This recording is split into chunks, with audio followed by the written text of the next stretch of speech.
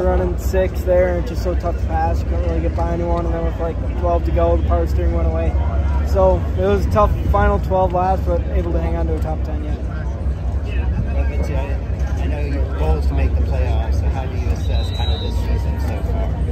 Uh, I mean, you can look back at races and circle ones that are like, these are ones that could have been better, like Las Vegas, for example, or Texas, where we got taken out late. But uh, it's, it's part of the past, and you got to look past it, and you just got to keep focusing on these next 10 races. Can you describe having to do this with someone like Matt Crafton, who's historically been one of the most consistent, most successful drivers in the series, that this is the guy who you're points racing?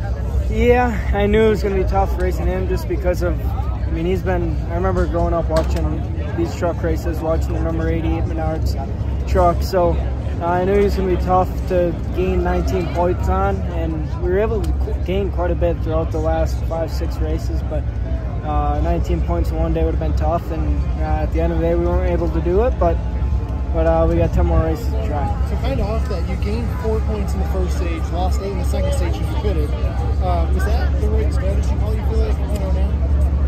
Uh, I don't know. I'm not the crew chief. I just I just drive the thing and listen to what they tell me to do. And uh, looking looking back on it, I was surprised on how many people stayed out in between the first and second stage. I feel like that's kind of where we where we dug ourselves a hole. And uh, but looking back on it, there's nothing that we can do about it. And we just try to keep digging forward, and that's what we did.